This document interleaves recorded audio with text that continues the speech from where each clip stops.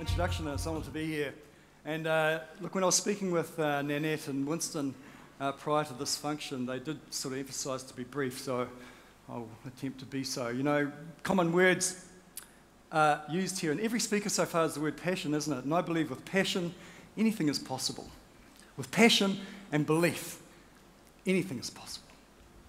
Thanks very much. Questions? It's kind, of, it's kind of true, though, isn't it? I mean, if you are passionate about something and you believe it's possible to achieve, then you know, it's, it's, it's almost possible. You just got to get out there and have a go. And I became very passionate about heard, something I heard about when I was competing at the Olympic Games. Part of the New Zealand rowing team went to the Atlanta Olympic Games, and I saw a flyer that was on a notice board there, and it said Atlantic Rowing Race. And this was a concept which was for two person boats were to row across the Atlantic Ocean from Tenerife uh, just off the northwest coast of Africa, across to Barbados in the West Indies, about 3,000 miles of open ocean, or about 4,500 kilometres of open ocean. And I thought, mate, got to have a crack at this. Made a decision. Made a decision. Now, 4,500 kilometres, it's actually, it's actually quite a long way. and, uh, and mate, I, I couldn't get my head around it, you know. And and I think with any big, scary, hairy, kind of audacious goal, the first thing you need to do if you want to take the second step after you've made the decision is to bring it down into more rational, realistic, achievable sort of chunks. And I think almost trick yourself, deceive yourself even if you had to. So I was in this state of trying to get my head around this enormous ocean, first ever rowing race. And I just couldn't take the next step until uh, I saw this photo. And I realised actually, it's not that far. It's actually like rowing from the intestines across to the udders, you know, it's not that far.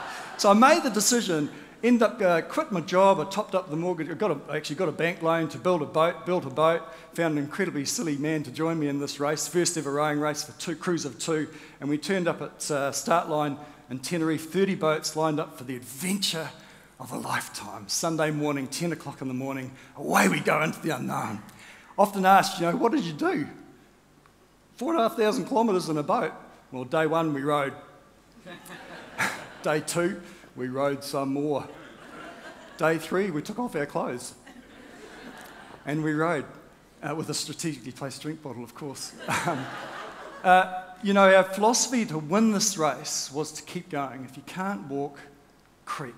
Just keep inching towards the destination. No matter what challenges you face with, just keep moving. We did two hour shifts alternating one person rowing, two on, two off, round the clock, non stop. Non stop. If we were going to win this race, we had to do that. And we did. We won. First ever rowing race across the Atlantic. Amazing. it was an amazing feeling. And, and um, you know, coming onto dry land, but wobbly on the feet, lost a lot of weight, 14 kilos.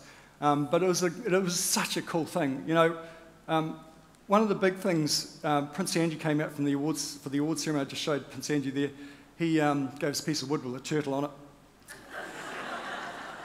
he also gave us a couple of trophies. There was, no, there was no prize money or anything like that. And it wasn't about prize money, it was about making the decision and going for it. And it wasn't necessarily about winning either. It was about overcoming the hurdles along the way. I haven't got time to go into too much detail around that. I will say, though, it was about attitude and how you overcome those challenges along the way depended on your attitude. And while I was mid Atlantic, my brother, Kerry Hamill, was an inspiration to me about his attitude. In 1978, he had been doing his version of the overseas experience at the age of 27, sailing the seven seas. He was taking a paying charter on this particular trip from Bangkok up to, sorry, Singapore up to Bangkok. He got blown off course into Cambodian waters took shelter behind a small island about 50 kilometres off the coast of Cambodia called Koh Tang. On the other side of that island was a Khmer Rouge naval gun base. That, uh, that evening, a gunboat attacked his boat. Uh, Kerry's close friend, uh, Canadian Stuart Glass, was shot and killed at that time.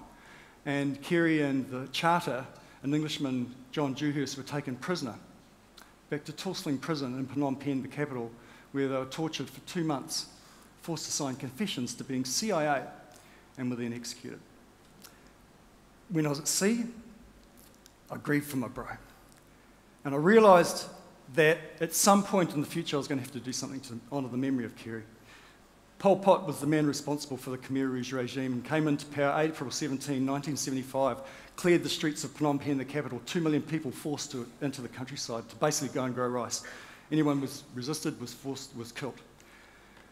The place was desert, left deserted. The one uh, place that remained operational was Tuol Sleng, the prison that my brother was incarcerated in, and it was operated by this man, Duch.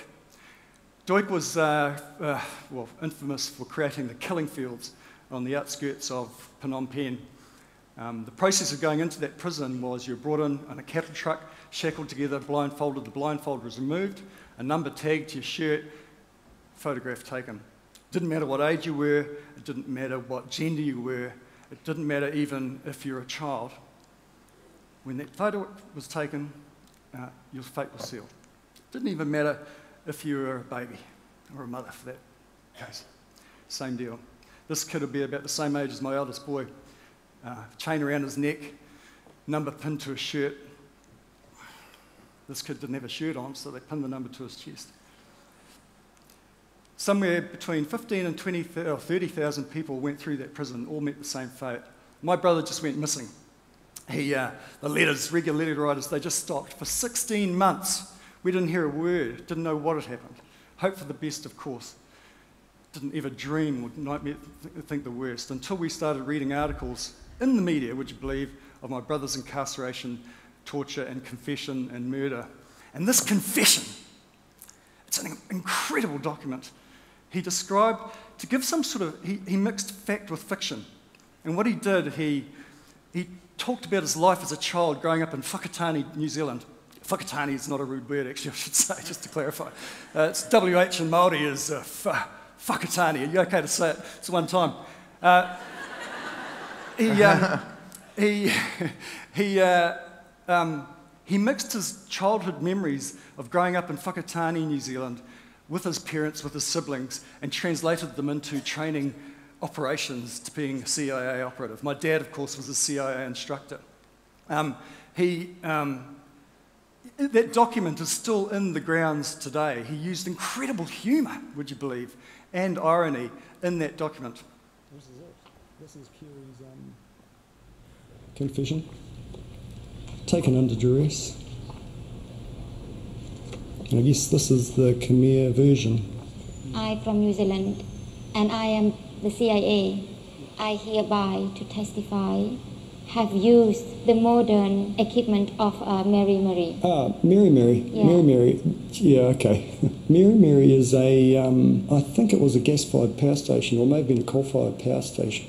he's just, you know, there's a lot of humour here, and can you believe he's, try, he's just trying to have some fun? I enrolled in the Psychology for Intelligence Officers course. This was taught by an American CIA intelligence officer, Major Roos. Roos, of course, being a, a con.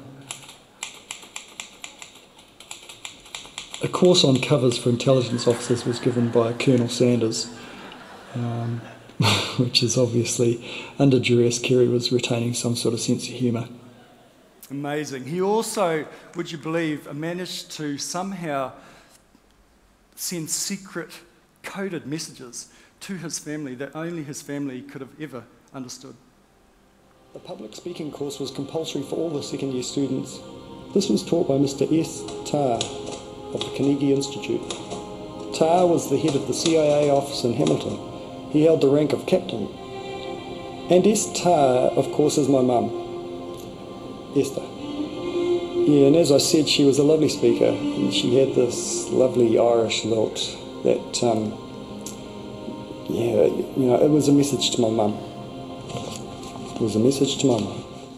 You know, um, you know, Meremere couldn't have been a more ironic place to be training to be a CIA compared to where he was living at that time. And of course, Colonel Sanders was a busy bloke back in the 70s, setting up a KFC empire and training my bro to be CIA. And of course, sending these messages of love and hope, you know, back to my family, to my mum, and the hope that Monday they could have, he could have a laugh with them. But if not, know that he was thinking about us all at that time.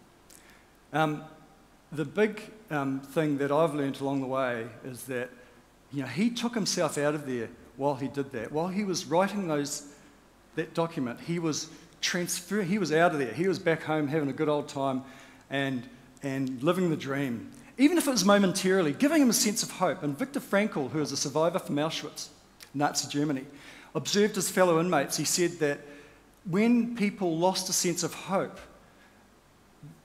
they died even if they were if, before they were murdered, and you know, obviously if you're murdered, no chance. But the ones who retained a sense of hope survived. And he said he's, when they lost the hope, they died often without even. And they did that through techniques of, of observing the beauty in the world that still existed somewhere outside them. Where there's a ray of light through a cloud, a flower, a, a, a, an act of dignity by, from a guard to a prisoner, reminding them. And of course, using their memories of childhood memories of their loved ones to keep that sense of possibility that still existed out there. He said, uh, Viktor Frankl in his book Man's Search for Meaning said, Forces beyond your control can take away everything you possess except one thing your freedom to choose how you respond to that situation. And in my brother's situation, he, he responded with incredible strength and courage and dignity. And you know, we get confronted things every day, challenges that are out of our control. And we have, we, have a choice how we respond to those, you know. And it could be very low level things. Someone cuts you off at the street light. Um, someone, well, relatively low level, someone burgles your house. Um, your boss tells you you're staying at, you have to stay uh, uh, uh, you know, after work to do some work even though you've got plans. Um, all sorts of things. It's your choice how you respond that. You can get angry, you can deny, you can stick your hands, you know, I can't hear, can't see. Um, you, can, uh, you can curse. Whakatane! Whakatane, yes, uh, it's WH though. Um, you know, or you can fight. And you know the results for that most of the time. Or you can take a breath, take a step back, take a step back, and look at the situation for it is for what it is and give a reasoned, rational, objective response. Remove the emotion where possible. And you know, it can be, you can practice that daily, make it a habit so that when the big things happen, it could be a life changing result, outcome, depending how you respond to that. Um, my second eldest brother, John, uh, didn't take the response I would have hoped, our family would have hoped. Nine months after we found out the news about Kerry, uh, John in the centre of this photo took his life. And my parents suffered greatly. And the reason I'm telling you about this is because the first time in 30 years, the first person to be brought to trial for the Khmer Rouge, for the genocide of Cambodia, two million people, and it was the man who ran the prison that my brother was incarcerated in, um, Duch. And I had the extraordinary privilege to be invited to testify at the War Crimes Tribunal in Cambodia and one of two Westerners to do so and tell him what I thought of him. And that was interesting. and, uh, and I also took the extra step of producing a film about the, um, the genocide of Cambodia and telling my story and my story of discovery along the way. Uh, called Brother Number One. You know, it's important because this is an unknown. We, you know, if I talked to you five, six years ago before I started this project, what did you know about Adolf Hitler? I'd get a detailed, lengthy, informed answer, correct?